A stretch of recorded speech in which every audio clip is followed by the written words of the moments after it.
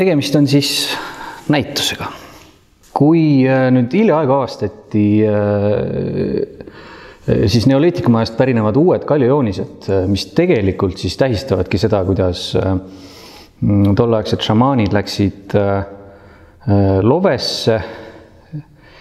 ja see näitus siin konkreetselt räägib siis praegu hoopis teisest ajastust tegemist on siis konkreetse, ent samas binaarsusi lõhkuva erisusega. rõhutaksin pealkirja, milleks on, ma loen selle siit maha, sama viin igaühe suus. see on selline kummaline kunstivorm, mis on tekkinud koroona ajal, kus grupp kunstnikke saab kokku, ei pea olema Kunstnike Liidu liige, aga võib ja nad lihtsalt joovad samast pudelist. aga samal ajal tähistab see ka midagi muud.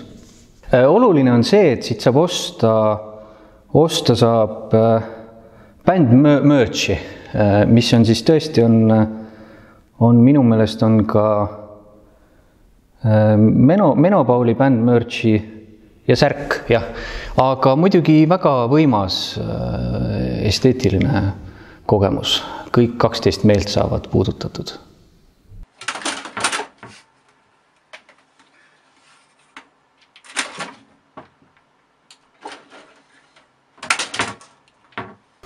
jah, ma loen ette siis. nii, hakkame siis pihta.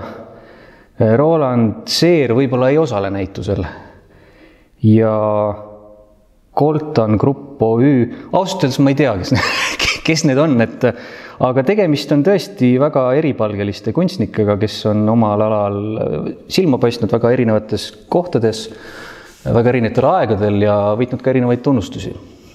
ei ole olnud suuremaid tülisid, on muidugi mingid väiksemad probleemid, võt-, võtmega näiteks oli probleem.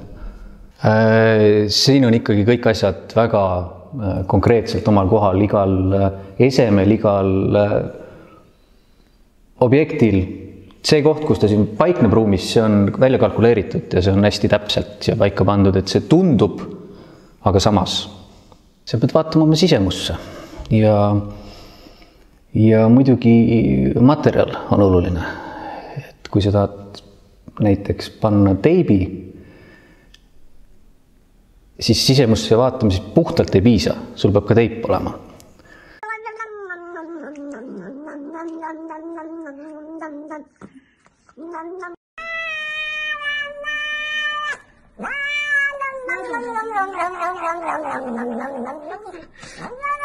sellega on nüüd see, et see tegelikult see liikumine, selline klassikalise kunsti vastane liikumine sai alguse Pärnust. ma ei mäleta selle mehe nime, kes äh, näitas hästi palju sellist kaasaegse kunsti pilte seinale linnavalitsuses või kuskil. Ja siis tekkis nagu see äratundmine kogu Eesti kunstiskeenes, et saab ka teistmoodi kui klassikaliselt. no see on selline eestlaslik traditsioon, et midagi ei visata ära minul oli vanaisa oli selline näiteks, kes viis kõik keldrisse. et ta ütles küll, et ta läheb, viib prügi välja, aga tegelikult viis keldrisse ja kui vanaisa ära suri, siis selgus, et keldris oli palju asju. aga need nüüd konkreetselt ei ole sealt keldrist, et need on äh, mujalt. et kui enne on niisugune no hästi tugev niisugune klassikaline toon ja noh, värvid ja ja, ja selline noh, see kunstiasi, siis nüüd on totaalselt teine.